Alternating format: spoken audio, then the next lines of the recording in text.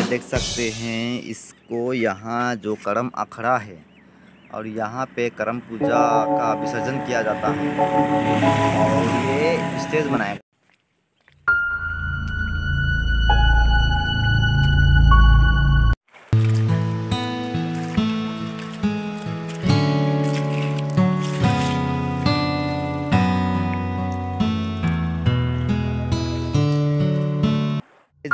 अभी फाइनली मैं घर पहुँचने वाला हूँ। आज के लिए इतना ही। Bye bye thank you so much